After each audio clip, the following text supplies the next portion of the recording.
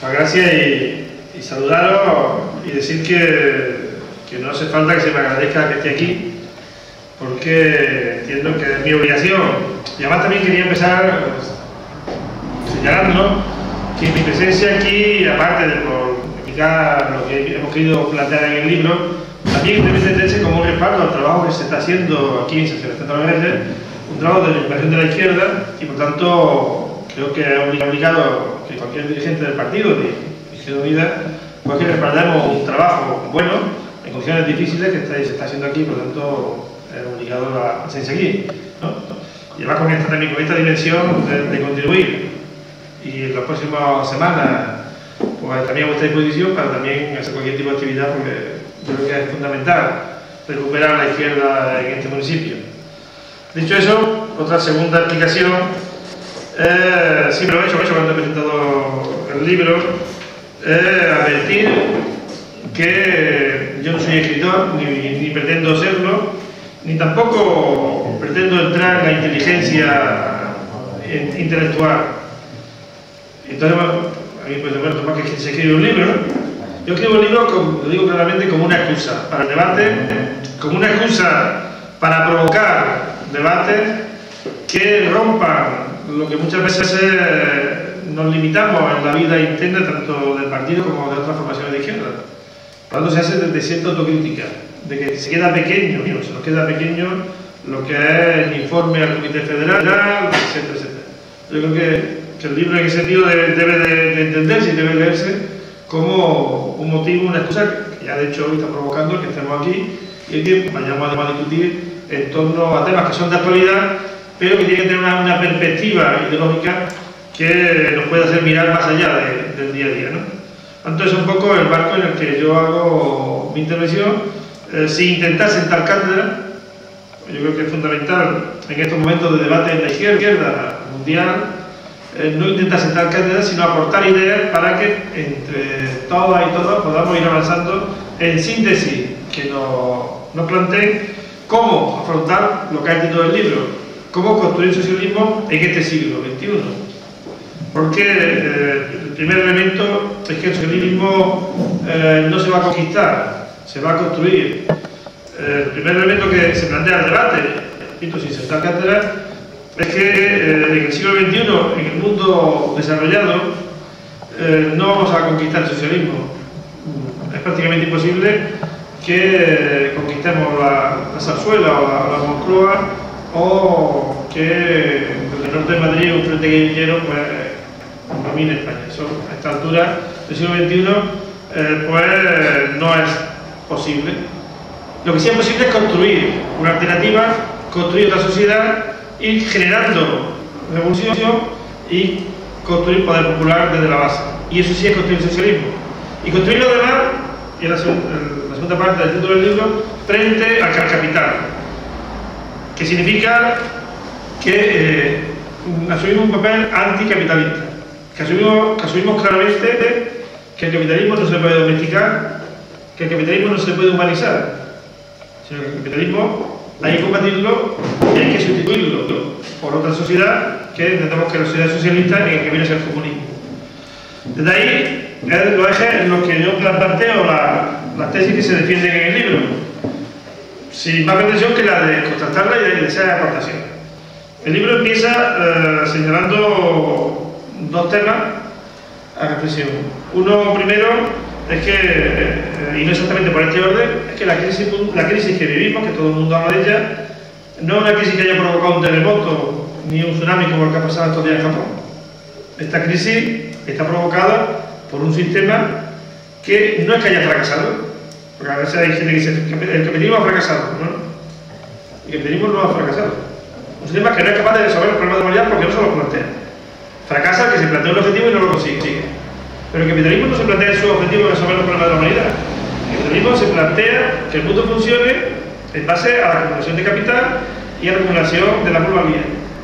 Y hoy puede esquivar América Latina, como hizo en Argentina o en otros países, y trasladarse a otro sitio. Puede acabar, con la Amazonía y trasladarse a otro sitio. Entonces, no es, no es que haya fracasado el capitalismo, es que se ha evidenciado más claramente que no es capaz de resolver los problemas de la humanidad. Por lo tanto, eh, se entra en esta crisis tiene nombre y apellido, y tiene responsable, tiene culpable, tiene víctima, y hay que ponerle cara, hay que ponerle la flechita. Pero también se señalaba en el libro que también hay una característica en esta crisis diferente a anteriores. Todos hemos visto películas de la crisis del 29 y hemos visto fotografías y hemos visto algún documental. Y había cosas, una cosa llamativa, que era algún que otro banquero tirándose de la bolsa de Nueva York, eh, algún que otro capitalista suicidándose. En esta crisis todavía no hemos visto ningún capitalista que se haya suicidado. Además, no hemos visto ningún capitalista que se haya arruinado. Porque los capitalistas aprendieron de aquella crisis. Y dijeron, la próxima crisis serán los obreros los que se lancen. La próxima crisis, que sean los obreros los que se suiciden. Y es verdad, hay estadísticas que cambian el número de suicidios. Porque la desesperación de las cosas provoca situaciones muy extremas. Entonces, esta crisis, el capitalismo ha aprendido. Y ha aprendido que, que en lugar de llevar a la ruina, lo que tiene que ser que la paguen los estados. Y mm, vosotros recordaréis, cuando empezó a hablarse de crisis, salió alguna, noticia de que el libro más vendido era la capital. Y se, acabó, se había votado en Alemania. Pero la verdad que le pregunté a, a camaradas españoles y alemanes y ninguno había, había comprado capital recientemente. A la conclusión que llegué, que llegué que eran los capitalistas los que estaban comprando el capital. Que eran los, gerentes, que eran los, grandes capitales los que estaban aprendiendo del capital. Porque mm, la verdad es que tenemos que reconocer que la izquierda, durante bastante tiempo, hemos sido muy, muy poco capaces de dar la batalla ideológica. Hemos dado batallas electorales para tener 10 o 20 más concejales o diputados, pero no hemos dado esa batalla ideológica que se ha dado a la derecha, la batalla de los valores.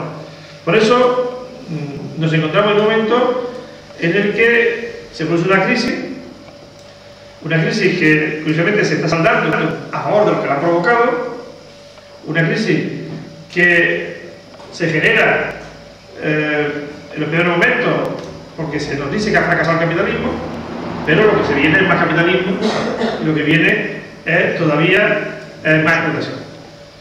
Y ahí es donde planteamos hacer una breve reseña histórica para, en cinco minutos, ver cómo, qué ha ocurrido y cuáles son realmente lo, que puede estar debajo de, esta situación actual de, de crisis. Repito, no es del fracaso del capitalismo, sino que es una crisis que provoca el propio desarrollo del capitalismo. Si nos situamos en cuando la burguesía eh, obtiene la, hegemonía, nos ha, implicado, y nos situamos en la revolución burguesa, la revolución industrial, y nos ha implicado que que hubo una confrontación entre lo que era la nobleza, el antiguo régimen, y la burguesía emergente que, que terminó en favor de la, de la burguesía. Sin embargo, eso no es completo, porque la batalla no fue entre el antiguo régimen, entre la, aristocracia, entre la nobleza y la burguesía. Fue entre la aristocracia, la nobleza, señores feudales, y el pueblo llano y, la, y la burguesía. la primera parte de la revolución la hacen juntos el pueblo llano y la burguesía. Y cuando se ha, se ha derrotado al antiguo régimen, es cuando la burguesía, cuando hay una confrontación, esa se estudia menos, entre burguesía y pueblo. Todavía no era clase trabajadora en el sentido clásico de la palabra, era bueno, los gremios, era el pueblo llano. Y hay, y hay otra confrontación donde la burguesía sí obtiene la, la victoria. Y dictadura por medio aplasta. Y hay que empezar a reivindicar de, de, de los, los, luchadores en la revolución burguesa bueno, la revolución francesa más que burguesa, contra la burguesía. Y esa revolución que, que, que se hizo contra, palabras que la resumen, que, que están todos los libros de texto, de libertad, igualdad y fraternidad, cuando se produce la segunda parte de la revolución y la burguesía es la que se adueña de, del poder, se queda reducida solamente una palabra, que ya igualdad desaparece, fraternidad también, y queda solamente libertad. Pero además queda libertad asociada a libertad económica, libertad de mercado. Es decir, que la revolución, tal como se había iniciado y como había provocado esa, esa explosión contra el antiguo régimen, queda totalmente eh, mermada. Y ya lo de igualdad nadie habla, ¿no? ni, ni siquiera de, de paternidad sentido de camaradería.